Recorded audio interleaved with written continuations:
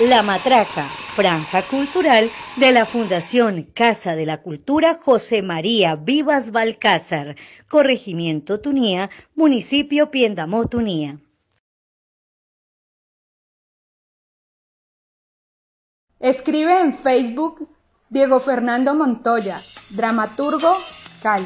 Comentario Juan Orterán. Leí la convocatoria de estímulos de la Secretaría de Cultura. Intuía de qué estaba hecho, pero la leí toda, con juicio, sobreponiéndome a los errores y a los horrores, tragando saliva. No hace falta leer demasiado para entender su derrotero, repartir miseria democráticamente, los tres centavos de los que se jactan, que argumentan cada año como un importante incremento. No solo son insuficientes, sino que los vuelven ineficaces, esta vez con los recursos de la ley de espectáculos, jugadas al chance, para hacer parejitas de dos en dos y por siete minutos en cosas virtuales. Advertir las huevonadas que se inventan a nombre de la contingencia es agotador. Concluye Diego Fernando.